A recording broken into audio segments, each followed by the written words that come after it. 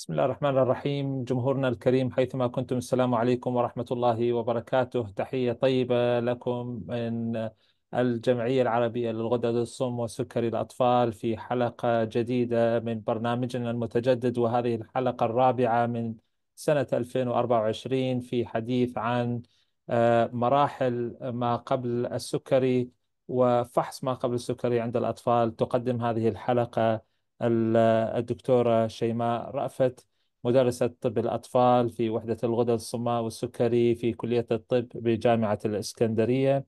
آه، سوف يكون لنا آه، آه، بعد الاستماع إلى هذه الكلمة عن مراحل السكري المختلفة حلقة نقاشية بعد ذلك. فإذا كانت لديكم أي أسئلة بإمكانكم طرحها حتى يتم الإجابة عليها فيما بعد. بالتالي نستقبل الدكتورة شيماء آه، بأكثر الترحاب وأشد الترحاب في هذه المشاركة القيمة من عندها وأهلا وسهلا بها في برنامجنا ساعة السكري. تفضلي دكتورة شيماء.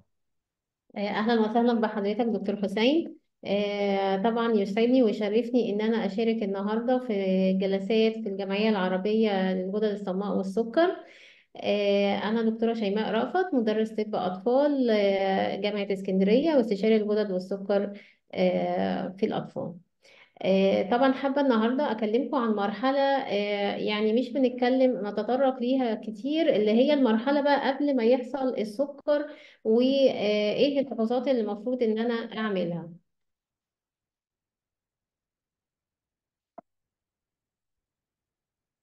آه، هنتكلم عن إيه السكر النوع الأول والتاني ومرحلة ما قبل السكر بشخصها إزاي إيه الفحوصات اللي أنا بعملها هل ممكن إن أنا آه، آه، أقي نفسي من السكر النوع الأول ولا السكر النوع التاني ولا لأ. زي ما إحنا عارفين سكر النوع الأول زي ما إحنا عارفين ده وضع صحي مزمن قد يكون مناعي ذاتي ضد خلايا بيتا في البنكرياس. فبالتالي البنكرياس بينتج كمية قليلة من الأنسولين أو لا ينتجه نتيجة لتلف هذه الخلايا. ودايما الأعراض في النوع الأول بتبقى بسرعة وبتظهر الأعراض على شكل زيادة الشعور بالعطش العطش والتبول وخسارة الوزن اللا إرادية. طيب إيه هو الإنسولين؟ زي ما إحنا عارفين هو الإنسولين ده هو البوابة أو حارس البوابة اللي هو بيدخل الجلوكوز للخلايا عشان نحصل على الطاقة ونعمل كل الوظائف الحيوية بتاعتنا. طيب لو مش موجود الإنسولين بالتالي البوابة دي هتتقفل والناتج عن كده إن مستويات الجلوكوز آه، في الدم بتعلى والخلايا الجلوكوز فيها بيبقى قليل. السكر النوع الأول هو طبعا مرض مناعي يعني بيهاجم الجهاز المناعي الخلايا المنتجة للأنسولين وبيدمرها على مدار بقى عدة أشهر أو سنوات حسب آه، سرعة تطور المرض في من بتختلف طبعا من طفل لآخر. آه، أعراض السكري ما بتظهرش غير لما بيعدي التدمير للخلايا ده 90% إلى جانب طبعا العوامل الوراثية والعوامل البيئية زي التعرض للفيروسات ومن أشهرها ال Coxsackie virus. بشخص السكر إزاي؟ لو خلاص بقى آه، في كل الأعراض دي زي ما قلنا العطش والشعور بالتعب والحاجة للتبول بشكل مستمر آه، الشعور بالجوع فقدان الوزن هل هعمل سكر صايم؟ السكر الصايم هيكون أعلى من 126 مللي جرام per ديسيليتر أو هعمل الهيموجلوبين لا أو الاثنين طبعا بعملهم مع بعض الهيموجلوبين السكري هيبقى ستة ونص أو أكتر. السكر النوع الثاني هو برضو وضع صحي مزمن بس هو هنا الجسم آه، أو الخلايا بيتا بتفرز عادي إيه الإنسولين ولكن افراز الإنسولين ده بيبقى غير فعال إن هو يحافظ على مستوى السكر في الدم وده بياخد طبعا وقت أكبر من إيه آه من السكر النوع الأول عشان يبدأ يتطور وتظهر الأعراض كلها بشكل واضح وصريح. أسبابه غالبا هي طبعا زيادة الوزن وقبلها بيبقى في آه، زيادة الوزن وقبل ما يحصل السكر بيبقى فيه مقاومة إيه إنسولين. واللي بيزيد بقى الموضوع إن يبقى فيه تاريخ عائلي للإصابة بمرض السكر من النوع الثاني إلى جانب بعض العوامل البيئية أو التهابات في البنكرياس. آه لو لو شفنا إشارة المرور دي آه هنلاقي إن هي شبه خالص الدايابيتس. آه زي ما إحنا شايفين اللون الأخضر ده بيكون طفل سليم تماما. نيجي بقى اللون الأصفر ده كده إحنا بنقول آه، خلي بالكم يا جماعة في مشكلة ما. ودي مرحلة ما قبل السكر اللي إحنا بنتكلم عليها النهاردة. آه بيكون مفيش علامات واضحة للسكر ولكن إحنا إيه إحنا في عندنا شوية لخبطة. لازم آخد بالي منها لأن لأن أنا لو خدت بالي منها في المرحلة دي هتساعدني كتير في المرحلة اللي بعدها. ممكن إن أنا أقي نفسي من السكر تماما زي آه، هنشوف في بعض أنواع السكر وممكن إن أنا على الأقل أبقى عارفة هتعامل إزاي مع السكر لما يحصل. طبعا ال- الإشارة الحمراء اللي هي طبعا إيه؟ السكر. فبالتالي أنا لما أتكلم عن مرحلة ما قبل السكر هي إن هنا هيبقى مستوى السكر في الدم هو أعلى من الطبيعي ولكن أقل من إيه؟ من آه، المستوى في الإصابة بالسكر. طيب أشخصه إزاي؟ آه بثلاث حاجات. أول حاجة اختلال السكر الصايم. يعني السكر الصايم يكون من 100 ل 125 مللي جرام per ديسيليتر طبعا في أماكن بيقيسوا بالملي مول ب- بالليتر آه بيبقى من خمسة وستة من عشرة لستة وتسعة من عشرة ملي مول per ليتر أو اختلال بقى تحمل الجلو- الجلوكوز. يعني أنا عندي آه لما باكل السكر بيبقى عندي مش مظبوط. ممكن يكون السكر الصايم كويس ولكن آه، هو المشكلة في السكر بعد الأكل بيعلى مني أو ممكن يكون الاتنين كمان موجودين مع بعض. اختلال تحمل الجلوكوز ده لو السكر بعد تناول الطعام بساعتين من 140 هو طبعا بيبقى ليه تيست معين بس يعني هو مبدئيا إن هو لو بعد ساعتين عملت السكر بيبقى من 140 ل 199 اللي هو من 7.8 من عشرة ل 11 ملي مول بالليتر. طيب أو عملت السكر التراكمي لقيته من خمسة وسبعة من عشرة لستة وأربعة من عشرة في المية. يبقى في المرحلة دي هقول إن أنا عندي إيه؟ آه كده مشكلة لا هي سكر ولا هو الطفل إيه؟ طبيعي زي ما إحنا قلنا اللي هي المرحلة ما قبل السكر. ولكن إن هي بتختلف في آه الأطفال هل ده سكر نوع أول ولا سكر نوع تاني؟ هتختلف في الأعراض والوضع بيبقى عامل إزاي. لو جينا مسكنا السكر النوع الأول بيبقى بيمر بكذا مرحلة. من أول ما يبدأ المرض بيمر بم... زي ما إحنا شايفين بأربع مراحل. المرحلة الأولى بيبقى الأجسام المضادة بدأت تبقى إيجابية. ماشي؟ ممكن آه، هم أربع أجسام مضادة بنعملهم. ممكن يبقى واحد أو أكتر. لكن هنا في المرحلة دي بيبقى السكر في الدم طبيعي تمام. طيب المرحلة التانية يبدأ مع الأجسام المضادة دي ممكن تزيد في العدد وبيبقى بقى فيه اضطراب في مستوى السكر في الدم. ولكن في المرحلة التانية دي على الرغم من اضطراب مستوى السكر في الدم هو مفيش أي أعراض تماما طيب نيجي ندخل على المرحلة الثالثة اللي هي بدايات بقى السكر. آه بيبدأ اضطراب مستوى السكر ده بيؤدي لحدوث أعراض بيؤدي لحدوث أعراض واضحة ولما نعمل الانفستيجيشن أو التحاليل اللي إحنا هنقولها دلوقتي بنشخص إيه؟ السكر. المرحلة الرابعة بقى إن إحنا عندنا مرض السكر النوع الأول ده لفترة طويلة. يبقى دي المراحل اللي بيمر بيها بس النوع الإيه؟ الأول. طيب إيه العوامل اللي هي بتقولي لأ ده في خطر هنا إن إحنا هيجيلنا سكر؟ إزاي أ- أعرف إن إن أنا كده في مرحلة الخطر؟ أول حاجة عدد الأجسام المضادة الإيجابية هل هو واحد ولا أكتر من واحد؟ أول ح... تاني حاجة القرابة من الدرجة الأولى. لو في عوامل وراثية أو عوامل بيئية وتعرض لبعض الإيه؟ الفيروسات. طيب أنا هعمل إيه في الأطفال دول؟ آه هي الفكرة من ال... إن أنا أعمل فحص قبل مرض السكر ممكن تقول ناس طب أنا هستفاد إيه؟ ما أنا كده كده هيجيلي سكر. لا هو الفكرة إن أنا أول حاجة إن في نسبة كبيرة من الأطفال اللي هم بيتشخصوا بالسكر إن هم بيتشخصوا من البداية بإن هم عندهم تسمم كيتوني حمضي خلاص اللي هو ال diabetic ketoacidosis فبالتالي دي طبعا دخول مستشفى دخول عناية آه، ممكن يبقى فيه أي مخاطر. فبالتالي لو أنا عارفة إن أنا ممكن يجيلي سكر أنا أكيد آه، هتأهب لأن أنا إيه آه، ما يحصلش حاجة زي كده. إلى جانب إن المضاعفات اللي هي بتحصل بعد كده والمضاعفات بقى المزمنة دي يعني ثبت بالدراسات إن هي بتبدأ من بدري أو من من بداية ما بيبدأ السكر في الدم يتلخبط مش من بداية ما يشخص السكر. دي أول حاجة. تاني حاجة ليه ما استغلش الفترة دي إن أنا أثقف الطفل والأسرة كويس وأعدهم إن هما يتعاملوا مع المرض بوقت كافي؟ وإن أنا أخر طبعا أو أمنع حدوث السكر دي بقى أبحاث آه، كتير وفي في منها وصل لنتيجة وفي منها لسه ما وصلش إيه لنتيجة. زي ما قلنا الفترة دي مفيدة جدا عشان أثقف الطفل والأسرة إن أنا أفهمهم أهم- أهمية التغذية الصحية إن هو لازم آه، الطفل ياكل أكل صحي ومش الطفل بس صراحة هو المفروض الأسرة كلها.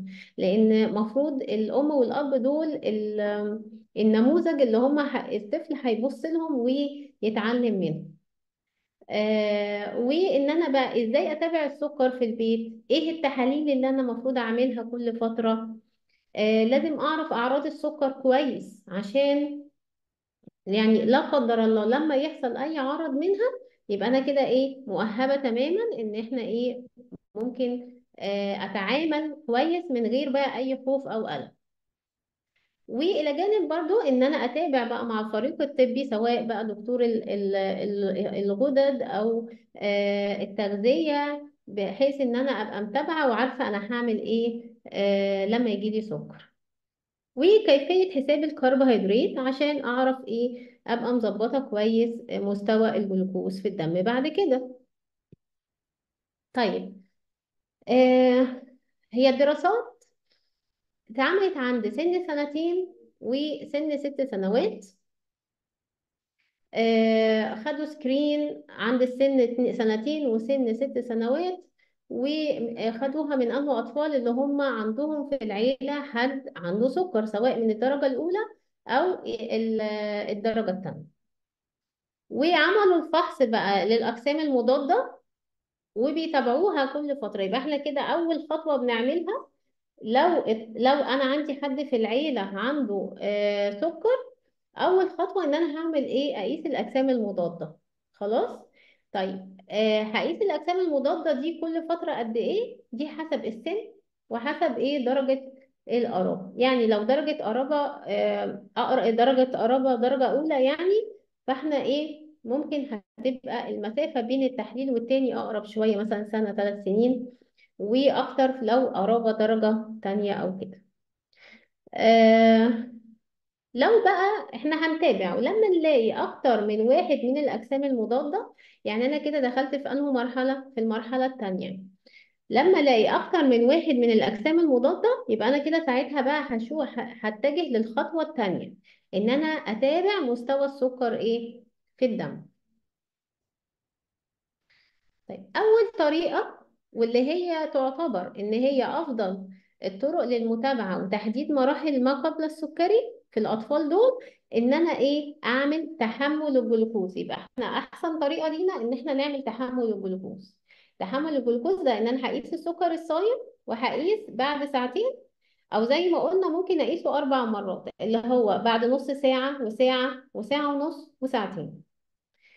آه، السكر الصايم اللي هو أقل من 100 مللي جرام per ديسيليتر أو اللي هو 5.6 من 10 مللي مول دي المرحلة الأولى. المرحلة الثانية بيبدأ بقى إيه زي gray zone كده. بدأنا اضطراب في مستوى السكر من 100 ل 125 مللي جرام per ديسيليتر آه، المرحلة الثالثة بقى خلاص هي يعني زي السكر اللي هو كام أكتر من 200 آه sorry أكتر من 126 مللي جرام per ديسيليتر السكر بعد ساعتين آه هيكون أقل من 140 مللي جرام per ديسيليتر ده في المرحلة الأولى.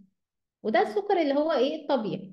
طيب لما بدأ يبقى في اختلال بقى في مستوى السكر هيبقى من 140 ل 199 مللي جرام per ديسيلتر أو سبعة وتمانية من عشرة لحداشر مللي مول. دي المرحلة التانية.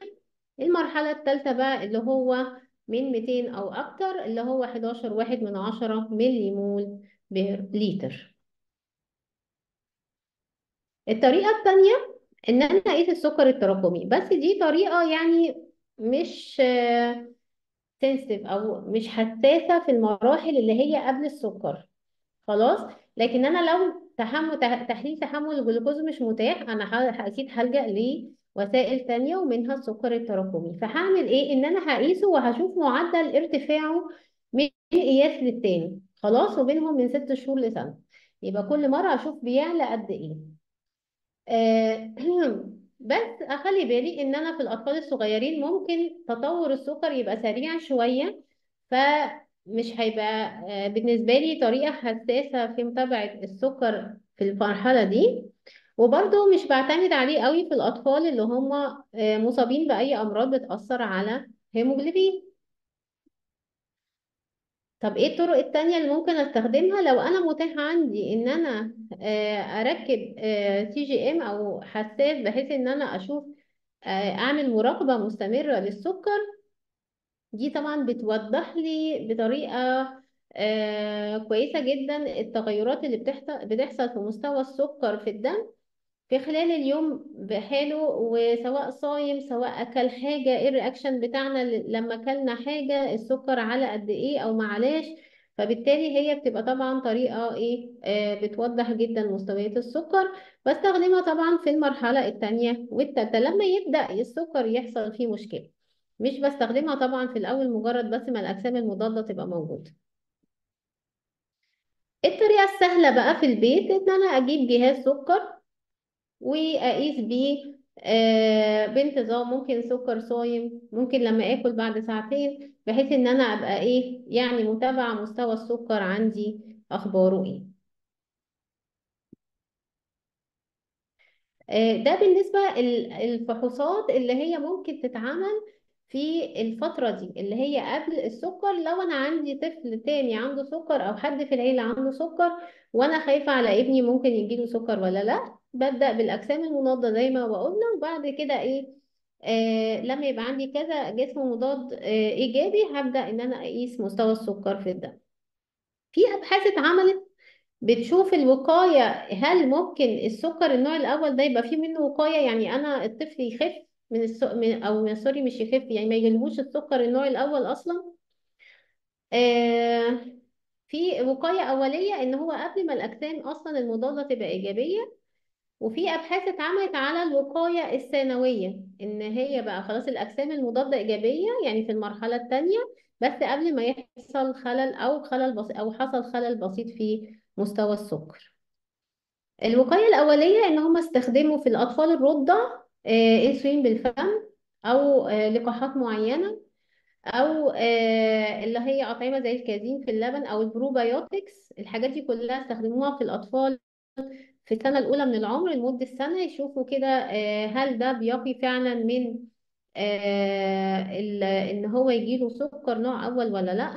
ولكن الأبحاث دي يعني آه، ماشي لقوا إن في فعلا بيبقى في تأثير على ال- ال- المناعة بتاعت الجسم ولكن مش بتقي من الإيه؟ السكر النوع الأول. الوقاية الثانوية بقى هي اللي لقت فعلا نسبة نجاح آه، وهي إن أنا أكتر حاجة لقت نسبة نجاح إن إحنا زي ما قلنا كده نستخدم أدوية بتهاجم آه، الخلايا اللي هي بتأثر على آه، أو بتسبب المناعة الذاتية. خلاص؟ من أشهر هذه الأدوية اللي هي إيه؟ التبليزوماب. زي ما إحنا شايفين اللي هو تيزل ده بيستخدم في المرحلة الثانية من السكر والأبحاث فعلا يعني اتعمل كذا بحث على عدد كويس من العيانين ولسه هيتعمل آه أبحاث أكتر على عدد طبعا أكبر آه ولقوا فعلا إن في نتائج إيجابية. بس هل هو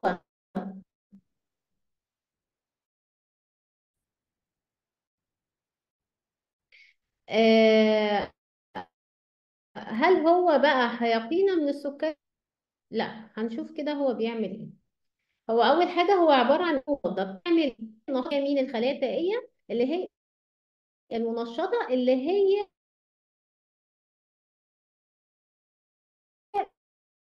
بتعمل هجوم على خلايا آه، البنكرياس وبتمنع افراز أو بت- بتضخ الانسولين مش بس. بتضغط خلايا تدمير طيب بيعمل حاجة ثانية إن هو بيعزز الخلايا الآلية التنظيمية. اللي هي إيه؟ اللي هي بتنظم آه، المناعة اللي في جسمنا.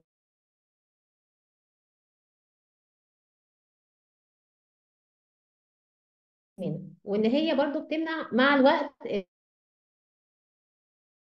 اللي هي المناعة الذاتية اللي بتهاجم الجسم.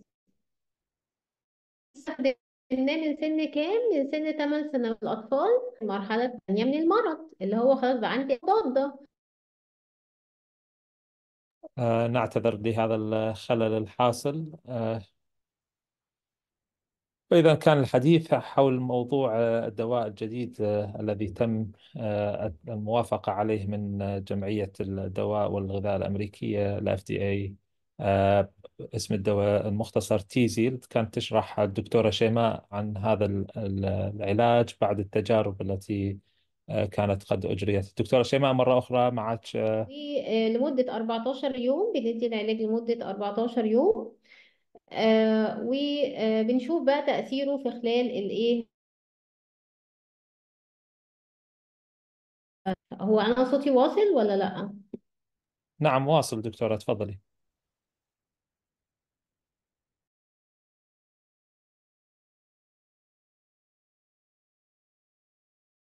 ما منعته. فبالتالي زودت الفترة اللي هي قبل ما حدو... ما يحصل السكر وإن إحنا نبقى عندنا قلق وستريس عشان نظبط السكر وعشان نظبط الكربوهيدرات وعشان نقلل الأعراض ونقلل المضاعفات. فبالتالي آه هي دي الأهمية بتاعته. آه طبعا مشكلة آه صح إحنا ما عملناش وقاية من السكر. المشكلة التانية إن هو العلاج فعلا باهظ التكلفة وإن بيبقى ليه أعراض جانبية آه، زي نقص عدد الدم الأبيض وده بيتحسن مع الوقت. يعني مع بعد اليومين ال- الأولانيين من العلاج ممكن بيبدأ يتحسن. آه، برضه بيحصل معاه زي حمى وشعور بالتعب وألام في المفاصل والعضلات. وعشان كده بيدوه آه، معاه بيدوا معاه مسكنات وحاجات كده تقلل مضادات حساسية بحيث إن هي تقلل الأعراض دي.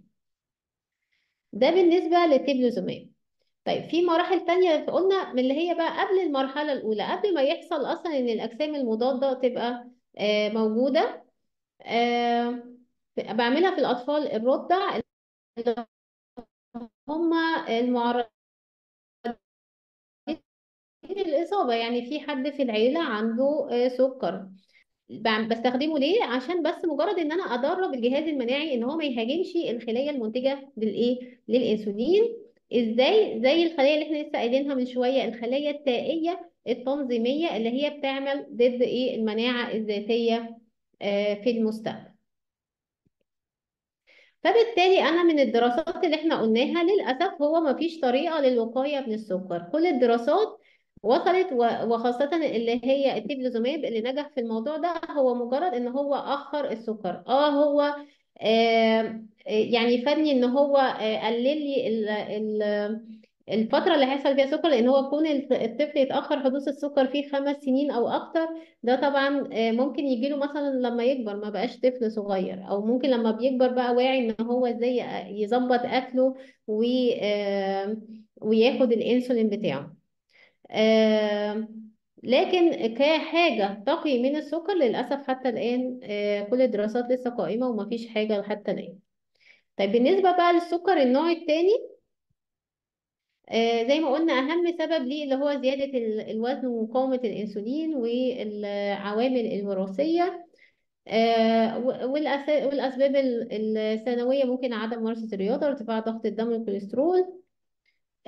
بعمل إيه للطفل ده؟ إن أنا مجرد إن الطفل بقى وزنه زيادة أو في أي علامات من علامات مقاومة الأنسولين أنا لازم أقيس السكر صايم وأشوف تحمل الجلوكوز والسكر التراكمي والدهون بالدم.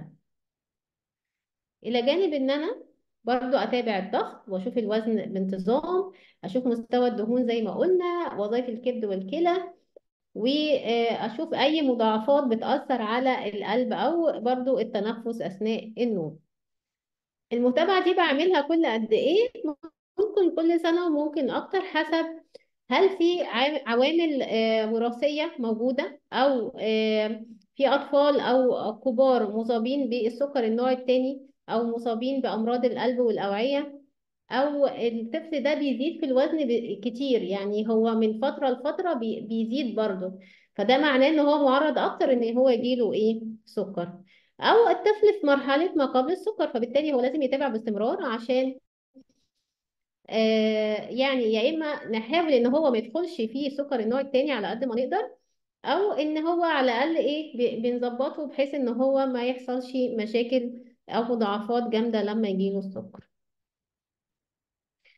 طيب إيه أضرار المرحلة في السكر النوع الثاني بالذات؟ الأضرار المرحلة دي لأن دايما إحنا قايلين في الأول إن السكر النوع الثاني بيبقى أعراضه بتحصل ببطء فبالتالي آه الموضوع بياخد وقت على بال ما أشخص أصلا إن أنا عندي سكر. وبتبقى بقى المضاعفات بدأت آه بدأت بذورها يعني بدأت تحصل بشكل آه مبدئي في الجسم من فترة أو مرحلة ما قبل السكر. بالتالي بيبقى فيه زيادة زيادة الخطر خطر الإصابة بالسكري والإصابة بأمراض القلب والسكتة الدماغية والبصر طبعا بيأثر على البصر والأعصاب والأوعية الدموية الطرفية والفشل. الكلوي عشان أقي بقى من داء السكر من النوع التاني لازم إن أنا الطفل اللي هو الوزنه زايد ده من الأول خالص و آه، أو عنده بدايات مقاومة إنسولين لازم أهتم بالدعم النفسي ده أول حاجة الدعم النفسي للطفل والأسرة ولازم الأسرة كمان هي نفسها تدعم إيه الطفل. يعني مثلا آه، خدت حاجة بسيطة يعني أشجعه مش أقول له إيه ده هو ده بس اللي أنت خسيته أو مثلا آه، إن هو بدأ يعمل تصرف صح من ال- من اللي إحنا قلناه وإحنا قاعدين بنتكلم معاه. لا أشجعه إن هو يبقى أحسن. حتى لو أنا في وجهة نظري مش شايفة ده إن هو أحسن.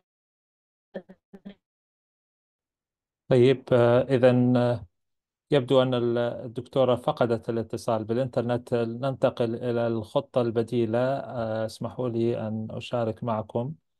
آه، ما وصلت إليه تقريبا الدكتورة آه، بخصوص العلاج ال- اللي هو ال teplizumab آه، أو يختصروا باسم آخر اسمه Tzield. وهو السؤال هل هو إذا game changer هل هو سوف يغير المعادلة بالنسبة للأطفال؟ ال- قبل قبل إصابتهم بالسكري يعني. آه، ما هو التبليزماب ما هو ال Tzield ما هو هذا العلاج الذي آه، تم الحديث عنه في الفترة ال- آه، القريبة الماضية؟ كيف يعمل؟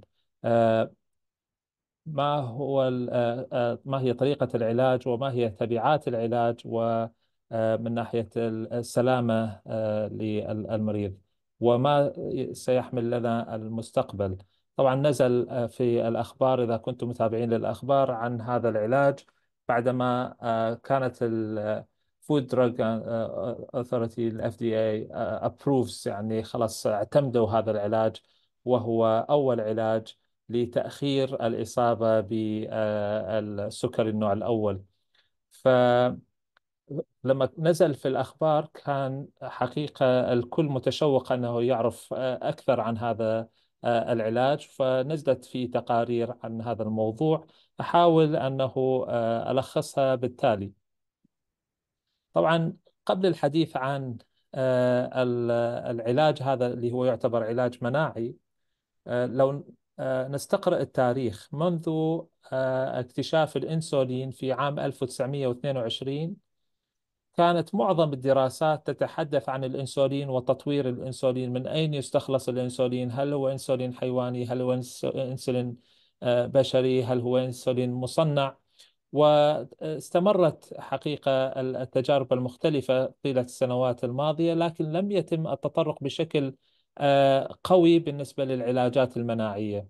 ففي العلاجات المناعية كانت دراسة قديمة آه، تتحدث عن استعمال أحد الأدوية المناعية وكان له بعض التأثير ولكن كان هناك ملاحظات حادة وشديدة بخصوص السيفتي يعني مأمونية أخذ هذا الدواء. فترك الموضوع في الأبحاث المناعية لفترة. ثم التبليزماب كان قد طرح كفكرة باستعمال نفس هذا الدواء اللي نتحدث عنه الآن. في نهايات التسعينيات من القرن الماضي. وتم البحث عن تأثيراته في المختبرات وكيف يعمل وكيف يأثر على الخلايا المناعية اللي تستحث الجهاز المناعي وبالتالي يتأثر الخلايا المفرزة للأنسولين اللي هي beta cells إلى حد نهايات العقد الماضي. حيث أنه تم اكتشاف التأثير الإيجابي دون مضاعفات حادة وكثيرة. يعني آه هذا الرسم التوضيحي يبين أن عندنا خلايا beta cell مفرزة للإنسولين موجودة في البنكرياس موجودة في آه جزر آه لانجرهانز اللي هي موجودة في في البنكرياس العضو المفرز للإنسولين. وكذلك توجد خلايا منظمة وتوجد الخلايا التائية اللي كانت تتحدث عنها الدكتورة شيماء في حديثها قبل ما ينقطع عندها النت ففي الحقيقة هذه الخلايا آه، ممكن هي تعمل آه، يعني dysfunction يعني تفقد تخلي الخلايا بيتا تفقد وظيفتها في عملية آه، إفراز الأنسولين. الآن هذا العلاج اللي هو يسموه monoclonal antibody اللي هو عبارة عن نوع من أنواع الأجسام المضادة يشبك مع هذه الخلايا التائية وبالتالي يعطل عمل هذه الخلايا في سبيل أن هذه الخلايا ما تخرب عمل الخلايا بيتا. لما بالتالي إذا كانت هذه الخلايا بيتا ما تعطلت بسبب هذه الخلايا التائية يبقى الأنسولين يفرز من عندها بشكل طبيعي وما يصير السكري طبعا هذه النقاط آه، آه، هذا رسم توضيحي آخر يبين عمل المراحل المختلفة لما هي قبل السكري. ف آه، عندنا genetic risk يعني استعداد استعداد لتقبل وراثي. إذا كان أحد الأقارب من الدرجة الأولى لديهم سكري طبعا تزيد احتمالية أن الطفل يكون مصاب بالسكري. لكن هذا لا يعني أنه إذا كان أحد الأطفال أحد الأخوة مثلا مصاب بالسكري فإذا مسألة حتمية أن آه، الطفل الذي نتحدث عنه سوف يصاب بالسكري. آه، مع الاستعداد الوراثي إذا صار تحفيز للنظام آه، المناعي هنا ممكن أنه الخلايا بيتا تتعرض إلى هجوم من الأجسام آه، من الخلايا المناعية وبالتالي يحصل الاستجابة المناعية وهنا تبدأ مرحلة تكوين الأجسام المضادة التي تهاجم الخلايا بيتا اللي هي تفرز الأنسولين. وبالتالي إذا صار هجوم على الخلايا بيتا إحنا نمر بعدة مراحل المرحلة الأولى الثانية والثالثة التي يتم فيها آه، تشخيص السكري فإذا المرحلة الأولى آه، لما نفحص السكر عند الطفل يكون السكر طبيعي ولكن الأجسام المضادة تكون تكونت. فإذا كان عندنا أكثر من جسمين مضادين إحنا عندنا مجموعة أجسام مضادة نعرفهم يعني بالاسم. فإذا كانت تكون عندنا اثنين أو أكثر من الأجسام المضادة هذه هي نعتبرها المرحلة الأولى ستيج 1 طبعا هذه الفترة بما أن السكر طبيعي بالتالي ما في أعراض. يعني آه، آه، بالصدفة إذا واحد يسوي تحليل يكتشف أنه في أجسام مضادة لكن أعراض ما في السكر يكون ضمن الطبيعي. المرحلة الثانية أن هذه الأجسام المضادة اللي تكونت بدأت تتأثر بشكل أو بآخر على عملية آه، تكوين الأنسولين. بالتالي هنا السكر قد يكون النتائج مال السكر تكون لما مثل ما ذكرتها الدكتورة شيماء عملية التحمل آه، آه، ونسميها glucose load أو glucose tolerance test لما نعطي الشخص يكون صايم ونعطيه محلول سكري ونقيس السكر بعد ساعتين حتى نشوف الجسم كيف يتعامل مع السكر.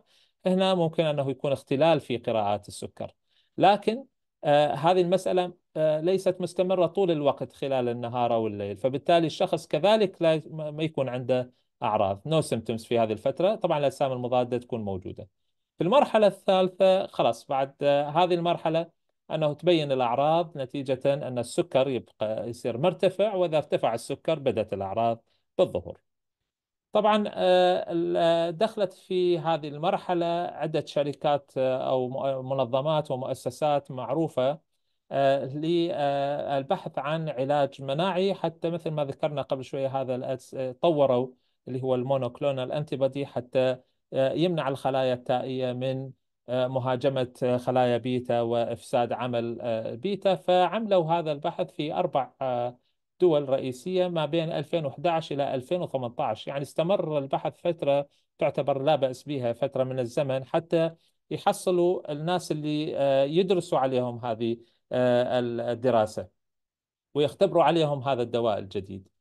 فاختاروا أن الأشقاء مثلا أو الأقارب للطفل مصاب بالسكري الطفل المصاب بالسكري قال خلاص هذا صار فيه السكري إحنا نروح نشتغل على الإخوان مثلا أو الأخوات أو الأب أو الأم أو إذا كان شخص مصاب كبير في العمر يأخذون أولاده يعني عشان يشوفوا لأنه إحنا قلنا أنه في استعداد وراثي استعداد تقبل وراثي فحتى يشوف أنه هذا ال relatives الأقارب من الدرجة الأولى هل هم ممكن أنه نقيهم من الإصابة بالسكري أو لا بإعطائهم هذا الدواء المناعي. واستمر هذا. طبعا اختاروا أنه أقل عمر يدخل في هذه التجربة عمره ثمان سنوات. واختاروا كذلك الناس اللي عندهم قابلية عالية للإصابة بالسكر. واختاروا كذلك لما عملوا يعني شافوا الأقارب يختاروا فقط اللي عنده أجسام مضادة. للسكري تمام؟ ويأخذوها في عينتين خلال ستة أشهر قبل ما يدخلوا الطفل في أو هذا القريب أو هذا الشخص في عملية إعطاء هذا الدواء. طبعا لما يعملوا له لتحمل السكر أو ال glucose load أو هذا الفحص مال السكري يعطوه محلول السكري عشان يشربه لازم يكون عندنا ما يكون النتيجة طبيعية. يعني فيه موجود أجسام مضادة مؤثرة على خلايا بيتا المفرزة للأنسولين بطريقة أو بأخرى. طبعا حصلوا 112 participant يدخل في هذا البحث. 36 من عندهم ما دخلوا في عملية البحث كاملة. لأنه 31 من عندهم مثلا لما عملوا له الفحص هذا تبع المحلول السكري طلعت النتائج جيدة يعني ما يخضع للخصائص اللي وضعوها للناس اللي يدخلوا في هذه التجربة. أربعة من المشاركين قرروا أنه عدم الالتزام بقواعد البحث وواحد لم يوفق لأنه يعني يوافق الشروط المطلوبة. فبالتالي صاروا 76 شخص مهيئ لدخول هذه الدراسة. 44 من عندهم استلموا هذا العلاج الجديد. و32 من عندهم استلموا إحنا نسميه بلاسيبو أو العلاج الكاذب. يعني هذول الطرفين هم مستلمين شيء يعني أعطوهم شيء لكن ما يعرف في ذاك الوقت أثناء التجربة. وهذه واحدة من الطرق حقيقة البحثية الرصينة التي تعتمد. حتى نعرف أنه نتيجة هذا الدواء الجديد فعالة أم غير فعالة. نخفي على الجميع. طبعا بعلم المريض إحنا نقول له إنه إحنا ما راح نفصح عن مكنون ما أعطيناك إياه. الباحث الرئيس يعرف عن طريق التتبع بالأرقام أنه ماذا استلم كل كل مريض على حدة لكن ما كان يعرف هذا أثناء التجربة يعرفها فيما بعد لما يتم الكشف. طبعا فبالتالي 44 مريض استلم الدواء 32 من عندهم ما استلموا الدواء وهذه النتيجة بعدين بدأت تعرض النتائج. طبعا استلموا الدواء في اليوم في أول يوم في البحث واستمر إعطاءه لمدة أسبوعين كاملات وهذه الجرعة اللي أعطيت بها. المجموعة الثانية كانوا أعطوا محلول ملحي فقط يعني. فنتيجة البحث بخلاصة حتى ما نطيل عليكم كثيرا. معظم الدخلوا في الدراسة هذه 72% من عندهم هم أعمارهم أقل من 18 سنة. المتابعة استمرت 745 يوم كمتوسط. طبعا أقل واحد استمر في هذه الدراسة 74 يوم وأطول واحد استمر في هذه الدراسة 2683 يوم. فبالتالي المتابعة لمتابعة أكثر من ثلاث سنوات كانت متحققة عند 75 يعني ثلاث أرباع المشاركين عند 57 مشارك في هذه الدراسة. الآن هنا تعرض أمامكم يعني الناس اللي استلموا هذا العلاج اللي هو اسمه تبليزماب مقارنة بالناس اللي استلموا المحلول الملحي. هذا توزيع أعمارهم هنا متوسط الأعمار كان 14 سنة هنا متوسط الأعمار 13 سنة وهكذا. وهذول هنا تصنيفاتهم يعني هذا إخوان شخص مصاب بالسكري مثلا هذا أولاد أحد مصاب بالسكري هذه أولياء أمور مصابين بالسكري وهكذا تمام؟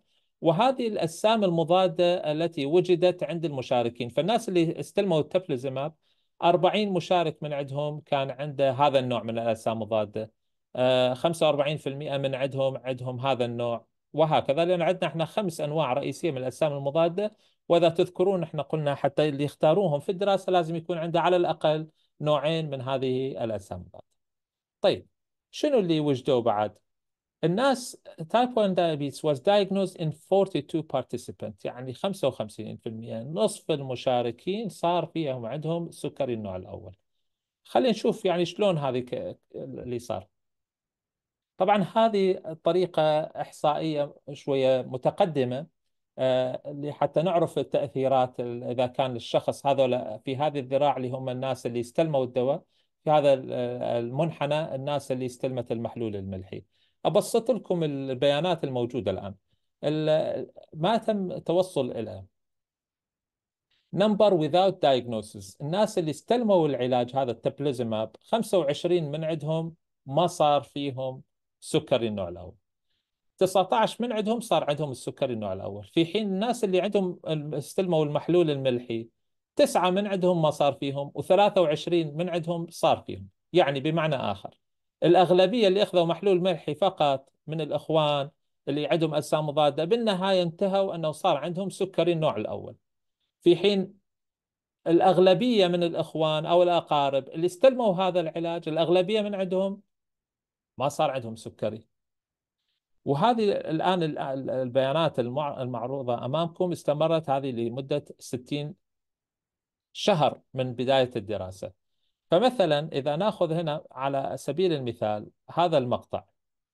الآن إذا كان الشخص استلم محلول ملحي من هذول الناس اللي هم قلنا ال high risk يعني عندهم احتمالية الإصابة بالسكري عالي. بعد سنتين من بداية الدراسة صار عنده سكري في حين هذول اللي استلموا الدواء المناعي بعد سنتين ما صار عندهم سكري.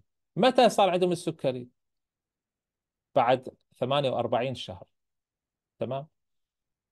فبالتالي إذا نأخذ مرة أخرى مقطع آخر. إيه بعد مرور سنة من الدراسة اللي عندهم استلموا محلول ملحي 14 من عندهم من أصل 32 انتهوا عندهم السكري 44% من عندهم. بعد سنة من أخذ العلاج المناعي ثلاثة فقط من أصل 44 صار عندهم السكري يعني 7% فقط صار عندهم سكري. لاحظ في بعد مرور سنة من عملية الفرز 44% من آه، الأخوان أو الناس اللي عندهم خطورة عالية في الإصابة من السكري حسب المعطيات والخصائص اللي كانت مذكورة سابقا 44% من, عندهم بعد سنة أصيبوا بالسكري في حين 7% فقط الذين استلموا العلاج المناعي صار فيهم عندهم سكري بعد ذلك طبعا هذا إلى ماذا أسس؟ أسس إلى أنه بدأوا يدرسون العوامل التي آه، آه، تقول أنه الناس يعني هنا التبلزماب بالعلاج المناعي نتائجه أفضل مقارنة بالملحي فدرسوا شنو أنواع الأجسام المضادة الموجودة. أي وحدة من عندها إذا كانت موجبة كانت النتائج أفضل. أي وحدة اللي كانت سلبية تكون نتائج أفضل. فوصلوا إلى عدة نتائج. آه هذه قد تهم الأطباء أكثر من آه ما حديثنا اليوم آه للعامة. لكن هذه المؤشرات الرئيسية الأجسام المضادة هذا النوع إذا كانت ما موجودة عند الشخص المصاب بالسكري آه، آه، ما مصاب عفوا اللي داخل في هذه التجربة آه، إحنا قلنا لازم يكون عنده على الأقل أجسام مضادة اثنين من أصل خمسة. فاللي ما عندهم هذا النوع من الأجسام المضادة كانت فرص الاستفادة من العلاج المناعي أكثر من الآخرين. كذلك النوع هذا من الاستجابة المناعية إذا ما كانت آه، موجودة عند الشخص فالاستجابة أكثر وهكذا. تمام؟ فخلصوا إلى نتائج أنه هذا التيزيلد اللي هو يعطى عن طريق آه، الوريد آه، لمدة 14 يوم وكل يوم يأخذ على مدى 30 دقيقة قد يكون إلى نتائج إيجابية كثيرة في تأخير الإصابة بالسكري وليس منعها تماما. طبعا هذه دخلتنا في موضوع أنه هل آه، يتعين علينا إذن أن نحضر هذا الدواء إلى كل مرضانا؟ وهذا طبعا خلق خلق آه، نقاش كبير في الموضوع. تكلفة العلاج هذا لمدة 14 يوم هي 194 ألف دولار. التأخير في الإصابة بالسكري له أهمية. وخصوصا للأطفال. يعني هذا اللي تأخر عنده الإصابة بالسكري سنة أو سنتين أو ثلاث سنوات بناء على المعطيات هذه. هل هذه جديرة بأن واحد يحاول فيها؟ أم يقول لا والله التكلفة عالية وعليه نترك المسألة؟ ما في ما في فائدة كثير خصوصا أن الطفل راح يكون مصاب بالسكر راح يكون مصاب بالسكر. أنا أقول أنه إحنا إذا كل ما قدرنا نأخر الإصابة بالسكر معناها أعطينا فرصة للطفل يعيش حياة أفضل من غير ألم من غير الوخز المستمر من أجل قياس السكر من غير القلق الذي يصيب الوالدين آه، إذا كان السكر آه، ممكن يرتفع أو ممكن ينزل. وخصوصا إذا الطفل يبدأ يأخذ أنسولين وما شابه وهذه كلها هذه كلها لها آه، آلام كبيرة وقد لا تقدر بثمن. ما يشعر بها إلا المصاب بهذه الحالة. بالمقابل يطرح السائل سؤال يقول هل علينا إذن أن كل الأطفال الذين أصيبوا بالسكري نجيب إخوانهم ونفحصهم وبالتالي نقرر إذا كان أنه في احتمالية الإصابة يكون عالي إذا نعطيهم الدواء اللي أصبح مقر من قبل ال FDA. يجي سائل آخر يقول وهل آه، مؤسسات الصحية في العالم آه، تستطيع توفير هذا العلاج الوقائي آه، المحدد بفترة معينة آه، رغم التكلفة العالية. هل بإمكان توفير هذا؟ فإذا هناك كثير من الأسئلة التي طرحت وهذه لا تزال في دوائر النقاش ما بين المتخصصين في هذا الموضوع. نعم نقول أن هذا الدواء هو بارقة أمل. لأن لأول مرة لدينا علاج مناعي يؤخر الإصابة بالسكري كما تم آه، تطوير علاجات الإنسولين خلال المئة سنة الماضية وأصبحت متوفرة بطرق مختلفة للإعطاء وبشكل آمن وبأقل مضاعفات كما كان في السابق من الأنواع القديمة. نقول أن هناك بارقة أمل كبيرة بهذا العلاج المناعي الذي تم الإفصاح عنه والتعامل معه خلال السنوات القليلة الماضية لعل أن يكون هناك علاج مناعي أفضل وأحسن آه، بعد أن يتم تطوير التيزيلد إلى شيء أفضل. وهذا مثل ما ذكرت أنه لا يزال الحديث آه، في أروقة العلم آه، للنقاش أنا أستوقف الحديث هنا أشوف. الدكتورة شيماء معانا مرة أخرى. أهلا وسهلا دكتورة شيماء. ما أسمع صوتك بس أشوفك. ميوتد أنت الآن. أهلا بحضرتك. أنا الله يحفظك. أنا أعتذر أعتذر. شفتك آه أيوه الآن أسمعك. الصوت ما زال متقطع. نعم نعم أسمعك. تفضلي. آه، أنا آسفة طبعا عن عن النت مش عارفة النهارده مشكلته إيه بصراحة. آه، آه، أنا بس كان في جزء صغير فاضل أنا كنت بتكلم على التغذية بس في الآخر و...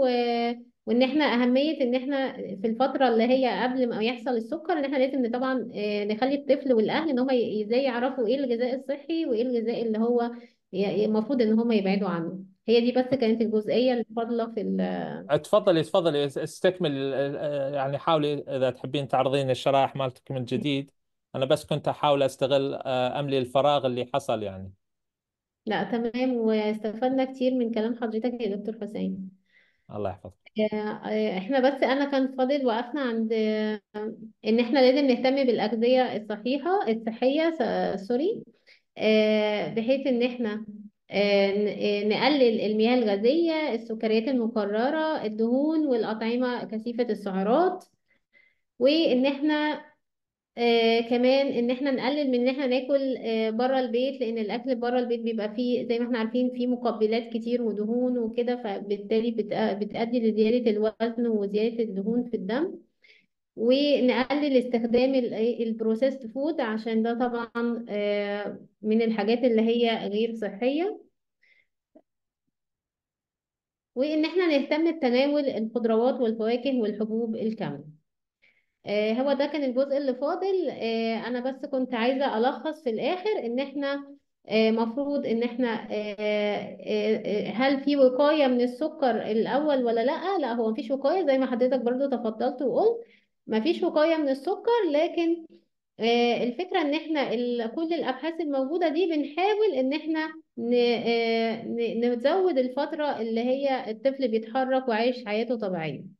لكن في بالنسبة للأطفال في السكر النوع الثاني في المرحلة دي ممكن إن أنا طبعا إيه آه، أقن الطفل من السكر النوع الثاني إن أنا أقلل الوزن وإن أنا أظبط أكله ويلعب رياضة آه، وبالتالي هيبدأ هيبدأ يتحسن ومش هيدخل في السكر النوع الثاني آه، تمام كده. هو ده اللي كان فاضل.